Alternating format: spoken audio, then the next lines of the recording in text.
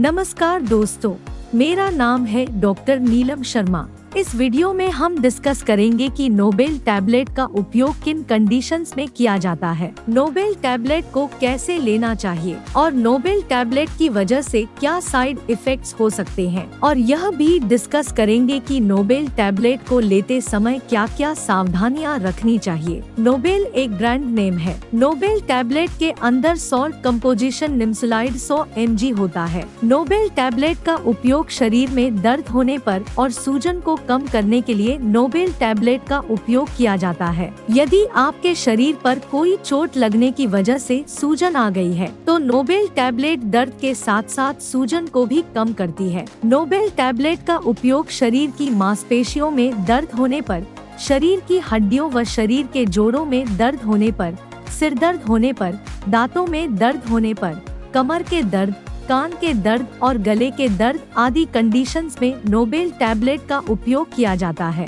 इसके अलावा महिलाओं में मासिक धर्म के दौरान भी दर्द से राहत पाने के लिए नोबेल टैबलेट का उपयोग किया जाता है। साइड इफेक्ट्स की बात करें तो वैसे तो ज़्यादातर व्यक्तियों में नोबेल टैबलेट की वजह से कोई साइड इफेक्ट्स नहीं होते हैं। लेकिन कुछ परसेंट व्यक्तियों में नोबेल टैबलेट की वजह से कुछ साइड इफेक्ट्स हो सकते हैं। जैसे बदहजमी होना, पेट में दर्द दर्द होना, पेट में जलन होना, कब्ज होना, उल्टी आना, उल्टी आने का मन होना, त्वचा पर खुजली होना, त्वचा पर रैशेस होना, भूख कम होना दस्त होना और लिवर एंजाइम बढ़ सकते हैं। ज़्यादा लंबे समय तक या ज़्यादा डोज में नोबेल टैबलेट को लेने से किडनी व लिवर डैमेज हो सकते हैं और शरीर में खून की कमी हो सकती है। इसके अलावा लंबे समय तक या बार बार नोबेल टैबलेट का सेवन करने की वजह से पेट में ब्लीडिंग होने का दिल का दौरा पड़ने का और लकवा लगने का भी जोखिम अधिक हो जाता है।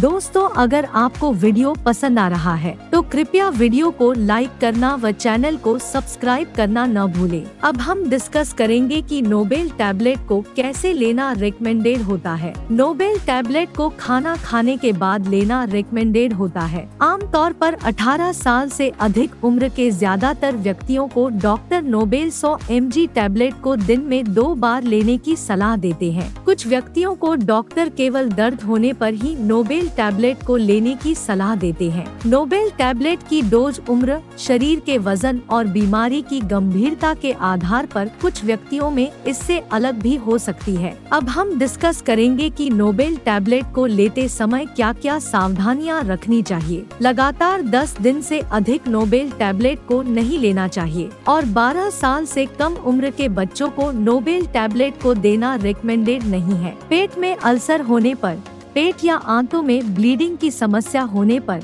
किडनी, लिवर या दिल से संबंधित कोई गंभीर बीमारी होने पर नोबेल टैबलेट को लेना रिकमेंडेड नहीं होता है। इसलिए इन कंडीशंस में डॉक्टर की सलाह के बिना नोबेल टैबलेट को नहीं लेना चाहिए। नोबेल टैबलेट के साथ शराब का सेवन नहीं करना चाहिए, क्योंकि नोबेल टैबलेट के साथ शराब का सेवन करने की वजह से पेट में ब्लीडिंग होने का जोखिम अधिक हो जाता है। नोबेल टैबलेट माँ के गर्भ में पल रहे बच्चे को नुकसान पहुँचा सकती है। इसलिए प्रेग्नेंट महिलाओं के लिए नोबेल टैबलेट का सेवन करना रिकमेंडेड नहीं है और स्तनपान करा रही महिलाओं के लिए भी नोबेल टैबलेट का सेवन करना रिकमेंडेड नहीं है। इसलिए प्रेग्नेंट महिलाओं और स्तनपान करा रही महिलाओं को नोबेल टैबलेट को डॉक्टर की सलाह के बिना नहीं लेना चाहिए। वीडियो को देखने के लिए आपका धन्यवाद। अगर आपको वीडियो पसंद आया तो प्लीज़ वीडियो को लाइक कर देना। चैनल को सब्सक्राइब कर लेना। और अगर आपका नोबेल टैबलेट से संबंधित कोई प्रश्न है